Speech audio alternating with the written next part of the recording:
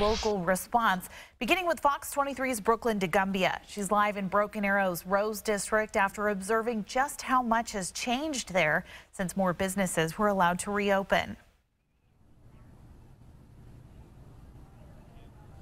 Yeah, it seemed that reopening restaurants is what it took for a lot of people to come out of their house today. I was right here in the Rose District last Saturday when personal care businesses opened up, and not even close to as many people were out here last weekend. Today was really the most people I've seen in such a small in such a small part of town in a long time.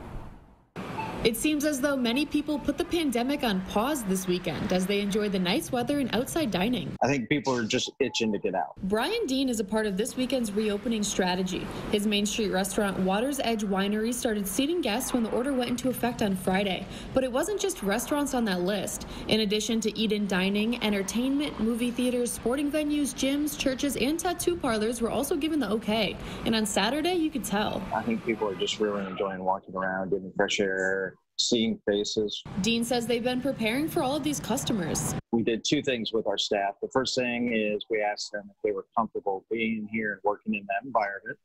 And the second was we, we checked everybody to make sure that they were healthy. He wants customers to feel safe, so he has masks available for anyone who wants one, but he said no one has. And he said he hasn't seen one customer come in with one on. I was expecting to see a little more mask uh, than I have because when I go to the store, I see them, not seeing a single mask. However, Everybody had smiles on their faces, lots of laughter. Dean says the attitude among the public is lax, but as a restaurant, they're still taking precautions against the deadly virus. They've rearranged all tables to be six feet apart, and they seat parties every other table. They're also using a high grade peroxide to clean tables before they seat someone new.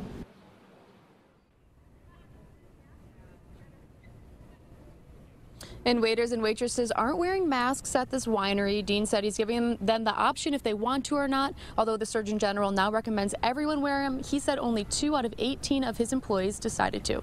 Live in Broken Arrow, covering news that matters, I'm Brooklyn Degumbia, Fox 23 News. A popular